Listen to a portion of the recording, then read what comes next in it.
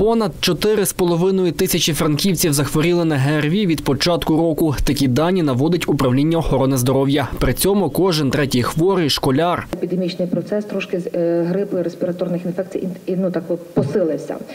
Ми буквально за останніх от е, 5-6 днів маємо набагато вищий рівень госпіталізації з приводу пневмонії в нашій лікарні.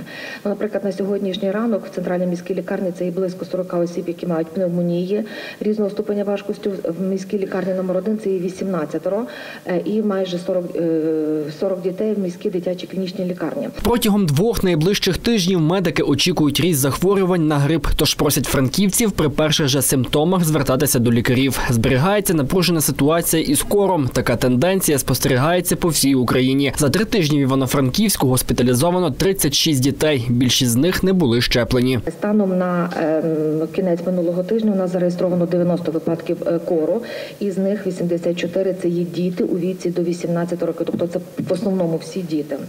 Е, З дорослих всього-навсього у нас шестеро випадків.